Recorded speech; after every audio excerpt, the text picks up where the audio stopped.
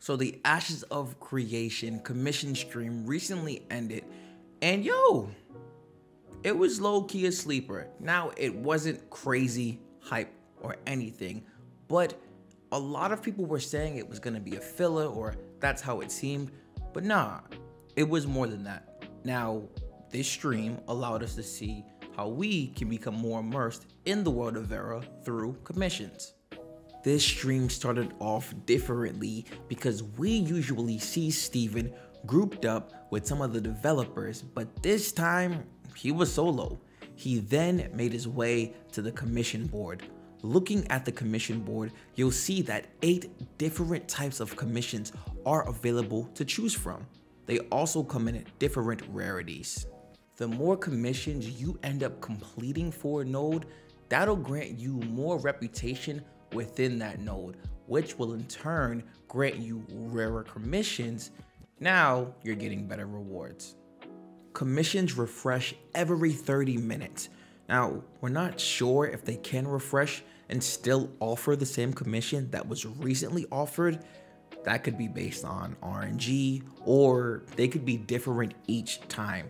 Now, depending on your node's identity, that'll affect the commissions that are available. If your node is more religion, economic, militaristic based, your available commissions are going to reflect that. It's important to note that each player can see the same commissions that are available during this time and that each player can hold up to 20 commissions that are also shareable with party members.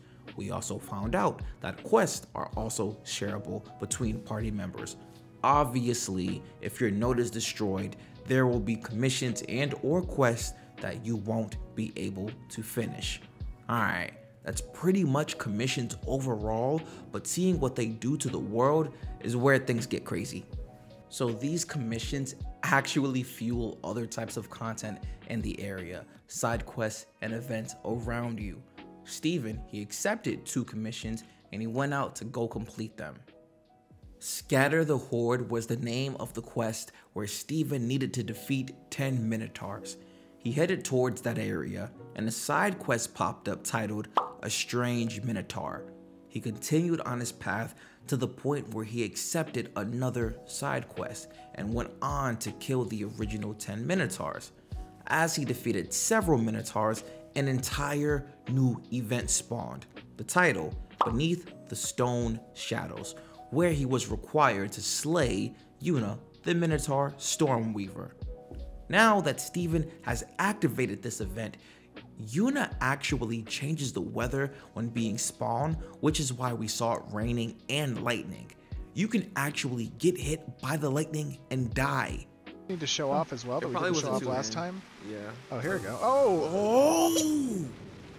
oh my gosh! Somebody res me. Oh! In this specific scenario, the changing of the weather can influence spawns nearby, side quests, and enemies that relate to the rain. So, from this one event, this branches off to other activities in the area. We're shown an example of this as the stream continues and we see Steven interact with Luna. Finally, they go off to finish the initial commission that they started off trying to complete. Once they got to their destination, the activity completed, and we even got a countdown for the node leveling up. So here, when the node leveled up, it actually spawned a new story arc because of the commission that was completed, generating experience for the node. If you remember, back when we got the Tower of Carfin stream last year and we saw the event, The Blood Still Do, this was very similar to that. Black smoke filled this area, and the title of this new story arc is An Ancient Violence. For some reason, this man Steven just runs and jumps off of the cliff to go check out the new area that the story arc has now affected. Now, what do I think about this stream? Okay, I get it. A lot of people thought it was filler. I can understand that.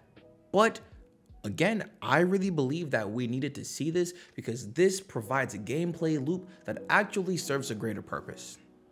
We don't see much solo content, so it was nice to see a live stream from that point of view because a lot of solo players are always wondering what change they can inflict on the world. Commissions are something that anybody can do with or without a group, and you can still feel like you're making an impact on your server. The thing that I find most interesting about this live stream though is that there is literally no downtime because it goes from commissions to side quests to events to story arcs. And throughout that entire time, the world is changing around you, which is pretty cool. Granted, a story arc more than likely won't pop every single time, but the idea is there, and this is something that players can be working towards. All in all, I'd give it a 6.5. I really believe this is something that we needed to see, and I'm hoping we'll see more this soon in Alpha 2. So speaking of Alpha 2, Intrepid, at the end of every stream, they talk about their updates. Things are coming along, things are doing fine they started talking about the specs for Alpha 2. Now, for the minimum requirements for a graphics card, they're like, yo, you can get by with a 1070. Cool. You know what? Steven, what do you recommend? For a graphics card, an NVIDIA 3070? Dog, what? Yo, my man. Yo, my man. Yo, come over here. Bro, listen, I got what you need. I know you out here late night looking for these honey buns, bro. I got them by the pack, by the dozen. Do me a favor, clear me out. We help each other out here. You know what I'm saying? Why do I have a chair in a dark alleyway? Okay, see, here we go. You're asking too many questions. Mind your business. I'm just trying to play a game. This man Steven trying to get us locked up. Yo, I'm telling you. Anyway, Alpha 2 is approaching quickly, so Go get those PCs updated if you need to. Also, the time has finally come, gentlemen. Been raiding BFD in World of Warcraft, Season of Discovery, as you all know. And my Epic staff has refused to drop since December. It is the end of February. But I am happy to announce that it has dropped for your boy. Super exciting, man.